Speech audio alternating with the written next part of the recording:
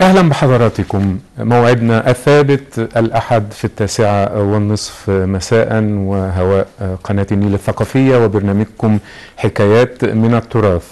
في هذه الحلقة نتناول مكون أساسي من مكونات ثقافتنا وهويتنا المصرية الأصيلة وهو المكون الإفريقي بكل تبعاته مصر تفخر بأنها في القلب من أفريقيا أيضا وهو مكون ثقافي هام وهي دولة من دول حوض النيل وهي في قلب إفريقيا النابض وساهمت في تحرر العديد من الشعوب الإفريقية ضد الاستعمار تأثرت وأثرت في جيرانها الأفارقة. قبل أن نتطرق لأي فقرات أود أن أؤكد على أن الفيلسوف أفلاطون قد قال أن الشخص الذي يعتبر أمي أو غير متعلم هو الذي لا يجيد الرقص. فالرقص بداية لكل شيء في أفريقيا. سيكون الرقص والموسيقى في أفريقيا موضوعا في الفقرة الثانية. مع الناقد الموسيقي الأستاذ تامر يحيى. أما تفاصيل الفقرة الأولى أتركها للزميله نهاد الحدين مساء الخير كل لحظة وحضراتكم بخير وصحة وسعادة. حلم وزخم وعرس ثقافي فني رياضي آه بنعيشه والحقيقة كل أحداث مترابطة ومرتبطة ببعضها إذا كنا بنتكلم عن كأس الأمم الأفريقية فمن أيضا التبعات الإفريقية إنه مصر بترأس طبعا الاتحاد الإفريقي ونضيف على ده عودة مصر مرة أخرى لأحضان القارة السمراء. مصير 57 دولة أفريقية مترابط بشكل كبير. حضارتنا واحدة ثقافتنا واحدة والتراث دايما واحد. الرقص الجينات الحقيقة بنشوف إنه دايما إحنا كمصريين الجزء الكبير أو دمنا إفريقي بشكل كبير.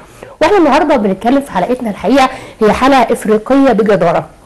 أما الفقرة الأولى فهتكون عن النوبة. ولما أنا بتكلم عن النوبة الحقيقة بتكلم عن جسر التواصل والثقافة بين مصر وأفريقيا. بتكلم عن البلد الحقيقة بلاد الذهب. بتكلم عن بلاد الحضارة السوداء النوبة. والنهاردة إحنا هنتكلم عن النوبة بشكل من ناحية الفن التشكيلي. فترات الفن التشكيلي من فترات عياد وبيكار مرورا بالفترات الحديثة.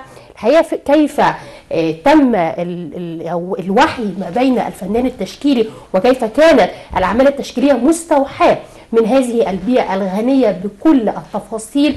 هي اللي بتفرح العين. تفاصيل فنية كتير جدا وألوان كتير ومتداخلة بنشوفها حتى في الحياة والتفاصيل النوبية الصغيرة جدا.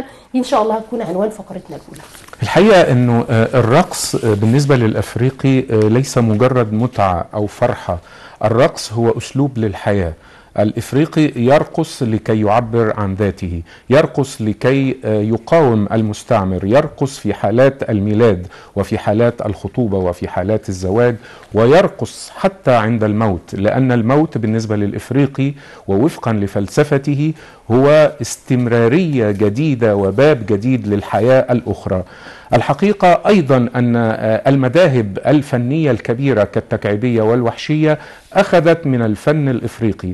الرقص كان بداية الإنسان الأول للسيطرة على الطبيعة للصيد. في عصر الصيد استطاع الإفريقي وكان أول من رقص ليسيطر على الحيوان الذي يرغب في صيده وليعبر عن أفراحه ويعبر عن أطراحه ويسيطر على الطبيعة التي لم يكن يفهم أسرارها الغامضة فكانت وسيلته هي الرقص لكي يفهم ولكي يسيطر ولكي يتماهى مع هذه الطبيعة التي تخطف منه أحيانا أولاده أو تخطف منه حياته نفسها.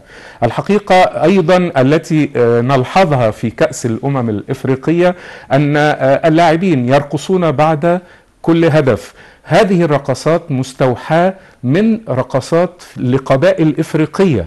فغانا مثلا اللاعب الغاني يرقص بطريقة مختلفة عن اللاعب الكاميروني ورقصة روجيه ميلا آه، أصبحت علامة مميزة بعد كأس العالم عام 1990 مثلا وكل دولة إفريقية لها رقصة خاصة بعد تسجيل الأهداف. نتمنى كل التوفيق لكأس الأمم الأفريقية ولمصر خاصة التي فازت بالتنظيم الجيد. نتمنى أيضا أن تفوز بالكأس أو يفوز أي أخ شقيق لدولة إفريقية. ففي النهاية الرياضة آه، هي رسالة سلام ورسالة تحقق. مش بس الحقيقة اللاعبين ولكن الجمهور كمان. الحقيقة أنا شرفت إن أنا كنت موجودة في آه، إحدى المباريات. لأ في الحقيقة بنشوف كده عرس فني بنشوف إن كل حد من أشقائنا الافارقه بيبقى الحقيقة بيقدم تابلو بيقدم رقص جميل جدا. حتى في الإعلانات وفكرة ال- البطولة نفسها فكرة تصميم ال- ال music الخاص بالبطولة أو ال slogan الخاص بالبطولة لا في حالة من البهجة في حالة من الروح في حالة من الحقيقة الدفء المشاعر. وهو ده حال الأفريقي في كل مكان في أي بلد من ال 57 دول اللي بنتكلم عنهم. وإحنا النهارده إن شاء الله هنكون مع حضراتكم. الحقيقة دلوقتي إحنا بنتمنى الت- التوفيق لمنتخبنا مصر وأوغندا بيلعبوا. فيعني بنتمنى إن شاء الله التوفيق لمنتخبنا وإحنا هنكون مع حضراتكم. إن شاء الله هنخرج لفاصل وبعد الفاصل هنبدأ اولى فقرات نعم.